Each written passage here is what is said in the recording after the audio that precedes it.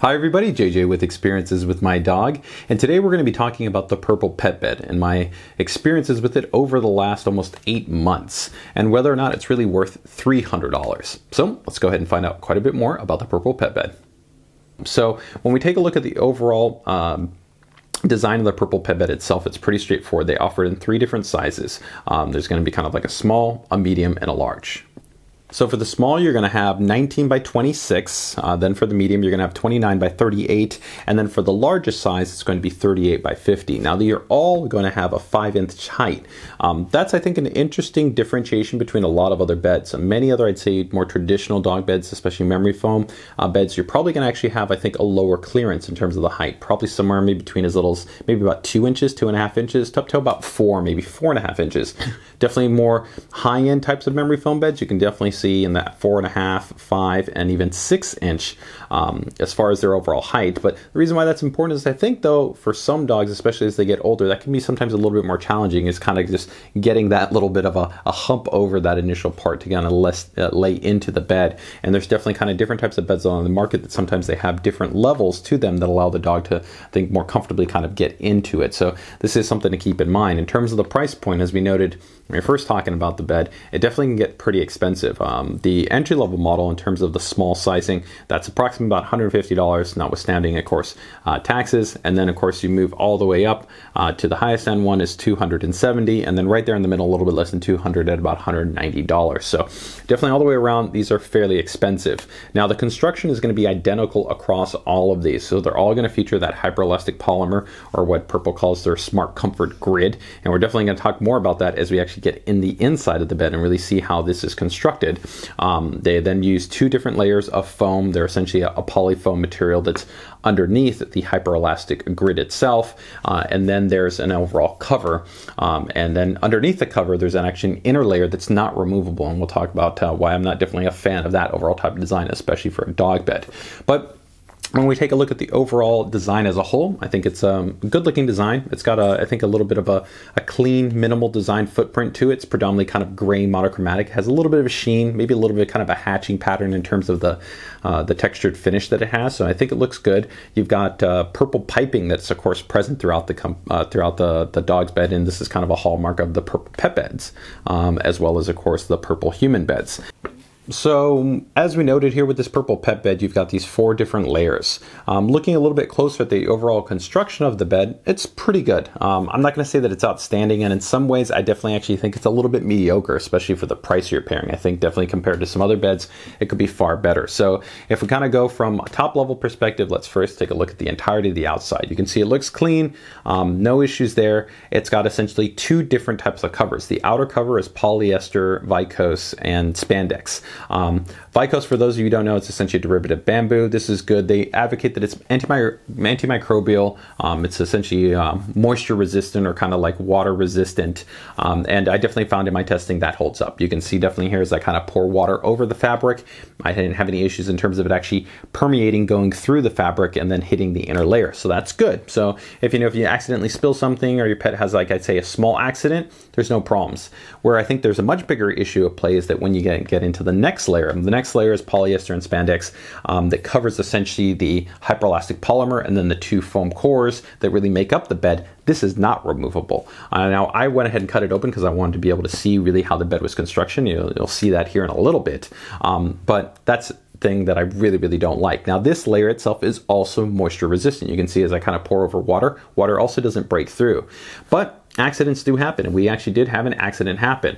Um, now, all my dogs, you know, they go uh, to the bathroom regularly, no issues in, inside the house or anything like that, but sometimes things do occur. And Modoc had an accident in the crate, and uh, I think we didn't get home for maybe about like an hour, an hour and a half, and actually I had to clean off the the cover, um, and it was a number one and a number two accident. So it had a chance to kind of settle in there a little bit, and I was able to wash it, no problem. All that came out, that was great. But it actually had seeped through the top layer, so the outer layer, and then gone into the uh, secondary layer, and even it had seeped through that layer. Now it didn't get enough to where it actually got into the foam.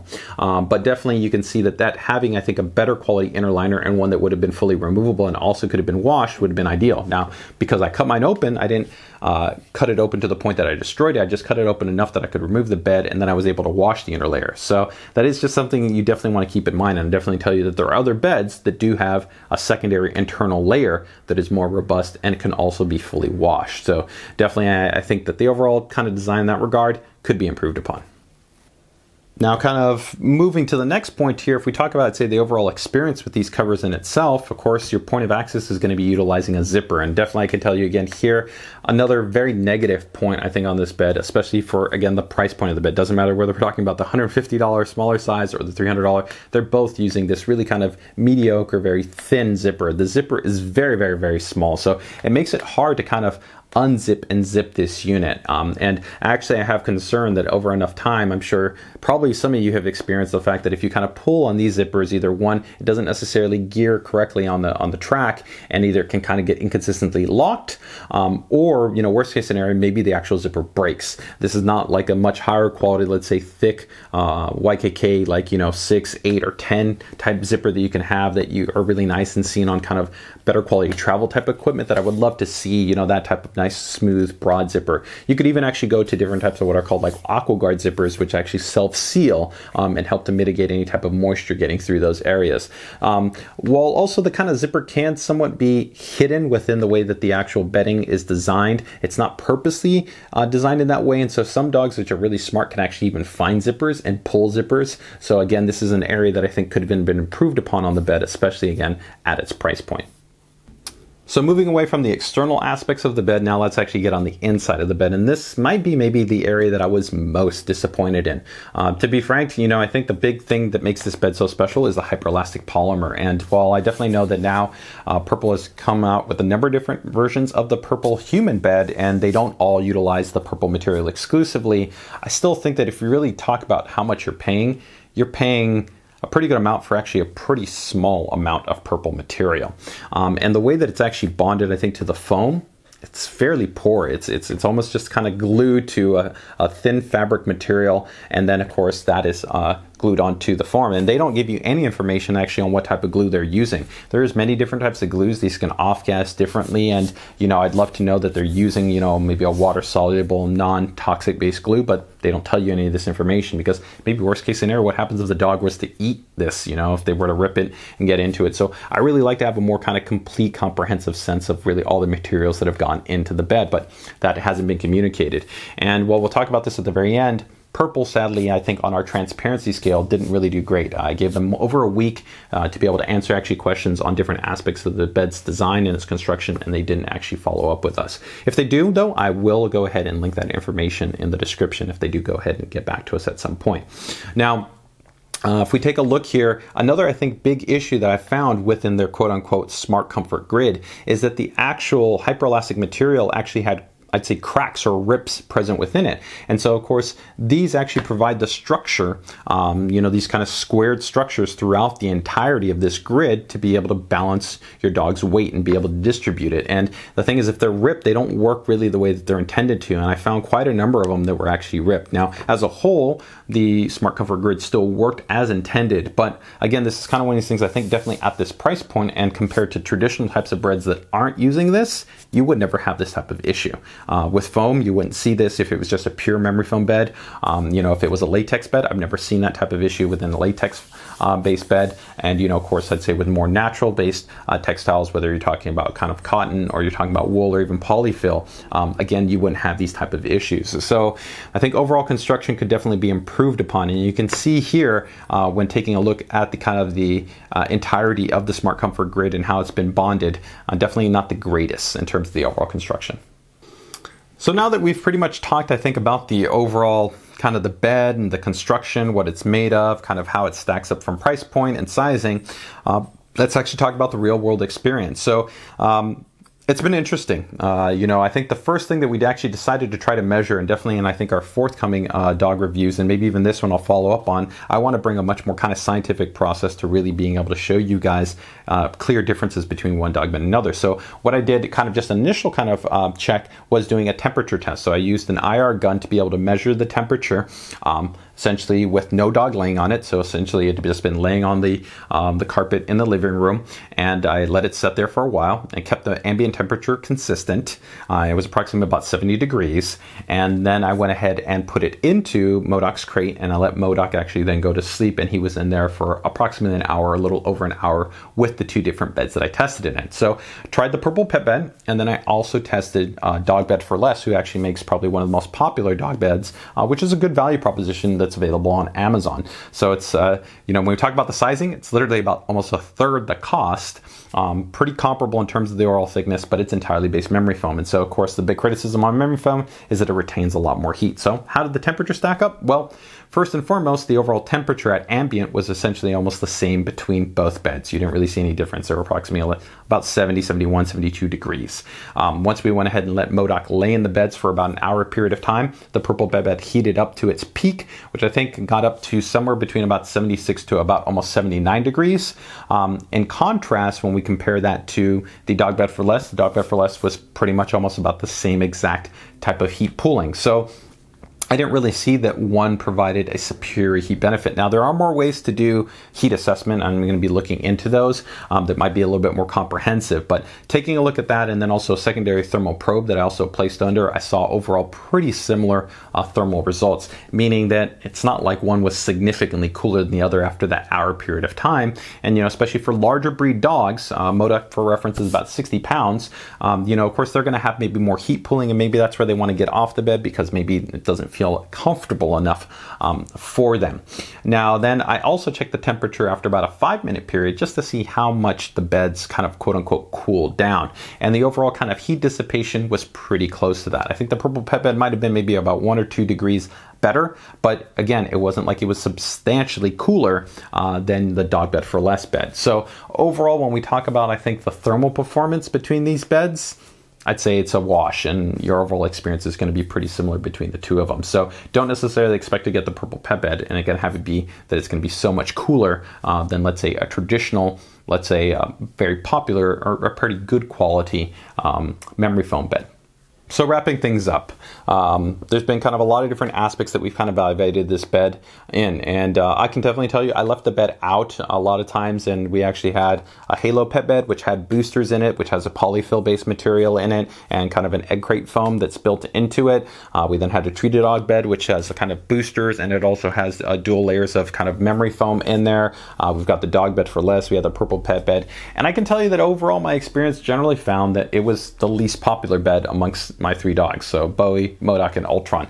None of them generally, I'd say, were consistent about really going to it. They generally preferred uh, either laying on the carpet, uh, laying on the couch, um, or laying on any of the other uh, any number of the other beds that we had out. Now, this doesn't mean that they never laid on it. There definitely were times that they did go ahead and lay on it, and you can definitely see cases in here. And overall, I do think um, you know it's fairly comfortable for them. But there are some definite factors that I think you do want to keep in mind. Um, one, I think that the overall hyperelasticity, the bounciness that this bed has, actually could be a little bit maybe jarring or weird for some dogs. When you actually kind of get on it, because it it kind of is balancing out your weight, right? Um, excuse me, well, balancing out your dog's weight. Some dogs may actually kind of feel a little bit weird to this. Um, if you actually really look at the way dogs work um, when it comes to kind of settling into kind of a space for them to get comfortable into, they will dig. Um, a lot of people criticize the dogs on this, but this is genetic. This comes from actually them being in the wilds and,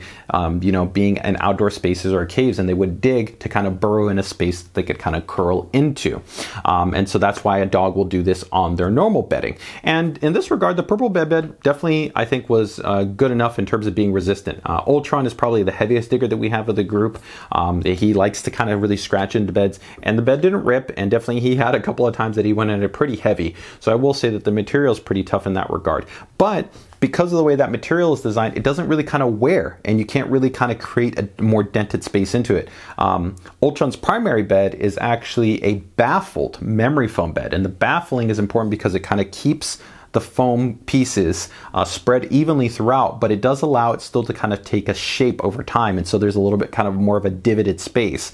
And I think that for a lot of dogs, they're going to feel more comfortable kind of creating this kind of more uh, curled in type of experience where the purple pet bed it's not going to flatten. It's not going to kind of create a shape that you can kind of feel comfortable in over a period of time. And I think for some dogs, they may not like that. Maybe other dogs may like the kind of the even balanced support that it does provide. Um, but it is kind of something to see. Now you can see here, here a couple of different shots just kind of showing you what the experience is like is kind of how a dog gets onto the purple pet bed versus some of the other beds. And you can definitely see that there's a difference in kind of the way that the weight is distributed um, between, let's say, the purple pet bed and let's say the dog bed for less bed. Um, you know, overall, do I still think that, like I said, they both hold up? Yes. And you know, did Modoc or has Bowie or has Ultron all laid on it and generally had, I think, you know, a, a comfortable experience? Yes. But it is kind of something to keep in mind. I also really don't like the fact that the bed doesn't have boosters. Uh, I think you know having kind of the bolsters or kind of boosters that you see in pet beds. I think a lot of dogs do like have something that they can kind of curl up against, put their head on, put their shoulder on, kind of just lean into, and ultimately make for uh, a more comfortable experience. So, wrapping things up, ultimately, do I really recommend this pet bed? I'm going to give it a marginal passing, yeah, just about where I, I moderately approve it. Um, you know, really from a value proposition, um, you can get the dog bed for less right now from Amazon for less than $90, um, you know, or right about $90. And keep in mind that it comes with, um, you know, a removable inner liner and an external liner. And they have five different types of covers, um, which, you know, are all about, you know, I'd say in around the 20-ish, $25 range. That's really important because some different dogs, sometimes they, they might like the bed, but they might not like the external material. Um, the dog bed for less, you can get in velour. You can get it in kind of a more ballistic type of nylon material. You can get it in a denim material. So you can find kind of one that not only fits for your aesthetics, but maybe actually is more comfortable for your dog's coat. And this is really important. Some dogs have far more sensitive kind of skins and coats than other dogs. Ultron's a very short-haired dog uh, compared to Bowie. Bowie, you know, she'll lay straight on tile and she's not bothered by it at all, um, but she has a much thicker coat. And so uh, having been able to have the ability to kind of swap these out, I think can be very important. And Purple just flat out doesn't offer this. And they've communicated that they're not offering it in any other aesthetic choices. And you can't even buy a replacement color cover, which for me I think is absolutely just a huge negative because what happens if something happens in that cover? Um, it's a very non-traditional size in that respect, so it becomes very difficult to be actually able to replace that. Um, so value proposition, you know, like I said, up to three hundred dollars for the largest size, when you compare that to, you know, you can get some very good quality dog beds, um, you know, at about a third or half the price. Even some really great full natural options, like Savvy-Rest has a really outstanding option, which is large, and it's a natural uh, latex material and an organic cotton, you know, cover for 150 bucks. So, um, said, I think okay. Now, one you know last credit though I will give to Purple is that they do offer a similar kind of trial program that they offer for their human beds, which I think is fantastic. So I think while it's more expensive, um, you know, outside of the one year warranty, they are giving you a hundred night trial program available to you if you buy directly from them. So if you do want to try it out for your dog, and of course you can hopefully make sure that nothing happens to it, um, and it's still in a condition that can be returned, you can take advantage of this hundred night, um, you know, trial and see if ultimately this really is a good dog bed for you. Um, and this is something that I definitely think is a, pun- a, a, positive because, you know, for many other dog beds from many other places, they generally have a pretty hard policy that once the dog bed is purchased, you cannot return it back to that location. Um, so this is at least a little bit of a kind of flexibility on that your initial investment you know if your dog doesn't enjoy it for x different reasons then you know you can at least get your money back. So overall hopefully you found this review on the purple pet bed insightful interesting and useful. Uh, if you did i'd love to have you guys hit that subscribe button. Again make sure to check out our patreon link to find out how you can support us and, and help to enable more dog bed rev- uh, reviews as well as many other cool dog related products in the future. Um, and if you have any comments or feedback also make sure to go ahead and drop them into the comment section. So with that um, don't forget forget to subscribe, like the video, share it, and check us out on Instagram. So with that, take care, take it easy, enjoy the rest of your day, and don't forget to spay and neuter your dogs.